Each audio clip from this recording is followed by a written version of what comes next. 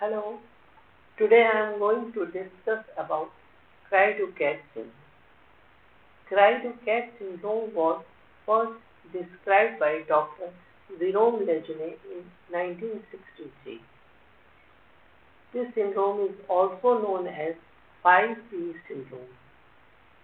It's a rare genetic disorder caused by a deletion of a portion of the short arm of chromosome 5.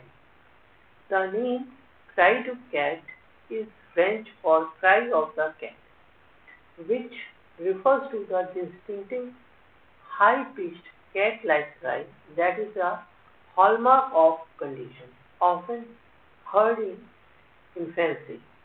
The prevalence of cri du chat syndrome is estimated to be about 1 in 20,000 to 1 in 50,000 live births.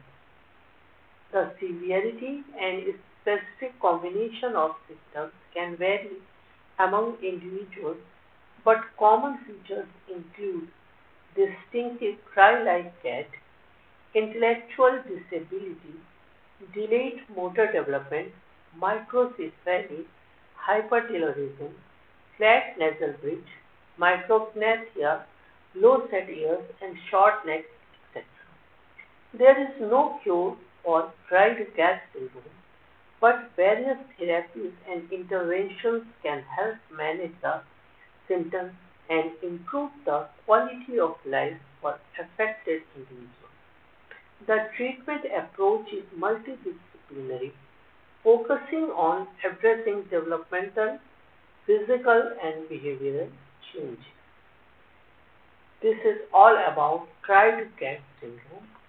Thank you. Thank you very much.